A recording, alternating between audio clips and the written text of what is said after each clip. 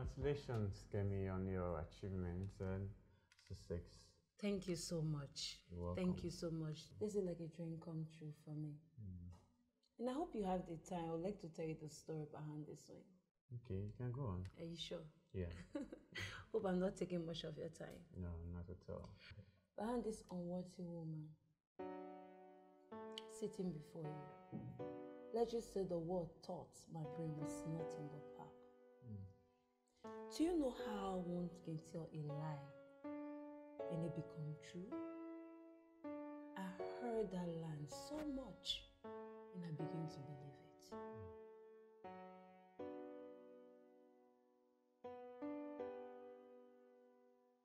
My two siblings were always the best in their classes.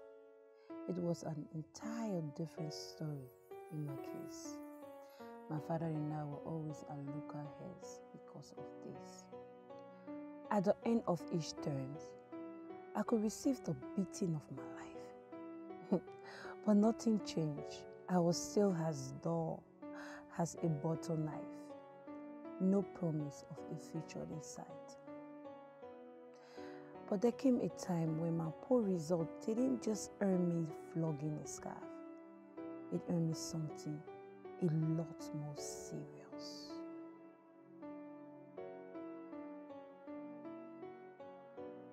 Mr. Simpson, I really appreciate your coming in, today.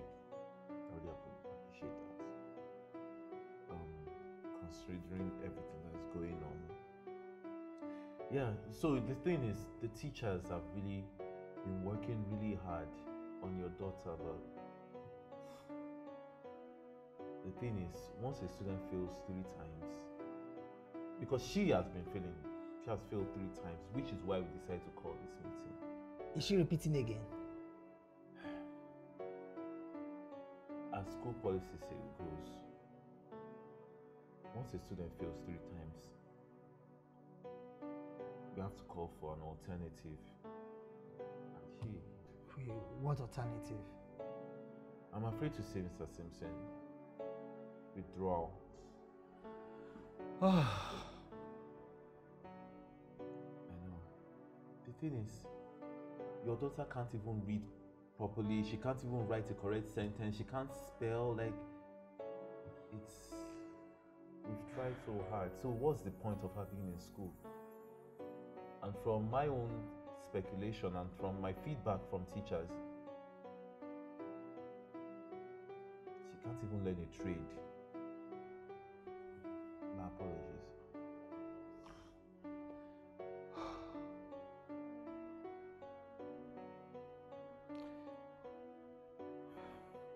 I, I, need your honest opinion. What do I do with her? No, just look at her. What do I do with her? Since we are being honest, Mr. Simpson, take your daughter home. Oh, I'm sorry. I'm sorry. it's okay. Thank you. Thank you for your help. I wish you the best.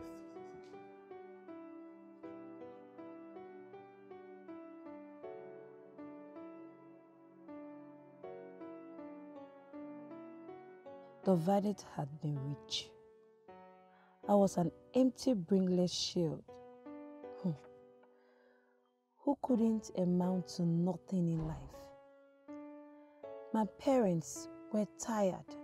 My schools were tired. I was tired.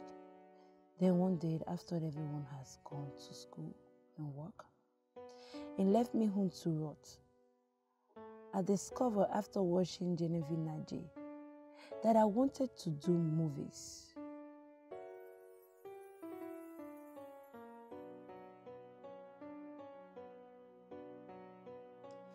It took me weeks of convincing my parents to allow me join the production house. They was afraid of being embarrassed of this dollar daughter. but at last they agreed. And I joined a production house. I became a production assistant. Mm, I was just 15. And it has been 15 years since that episode. I have done things. I have made something out of my life.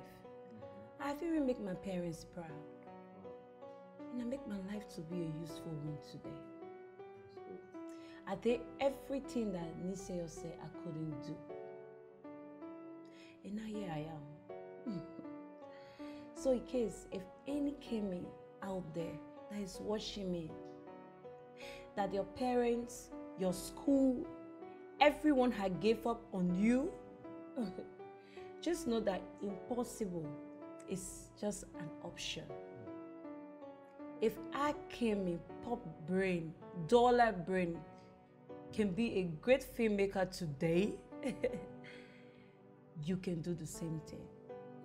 So I just want you to live with this advice that impossible is just an option. Thank you so much for your time, sir. Thank you, Kim. Thank you. Thank you. Very